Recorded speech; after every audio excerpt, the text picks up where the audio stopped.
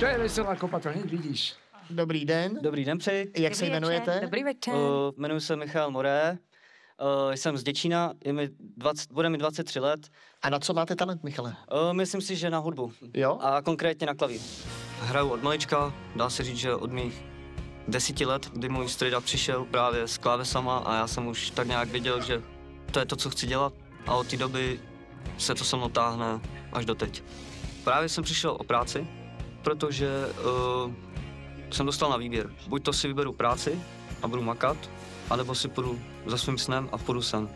Takže jsem si vybral právě svůj sen. Řekl jsem, že prostě ať se stane, co se stane, tak jsem prostě pojedu a budu tady.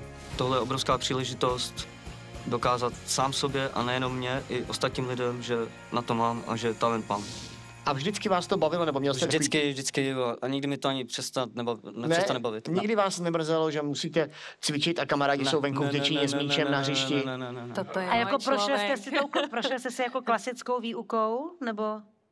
Neumím noty, ty jsem, se, ty jsem se Tak naučil. No, já si myslím, že mám dobrý sluch, Aha. mám dobrou paměť. Jakože se vám takhle pustím Chopina a řeknu, hraj a to vy to tak zahrajete. To je, to je těžší, jo. Ono, když jde o ty klasické písničky, tak to je mnohem těžší. A nebylo by snažší se ty noty naučit, když...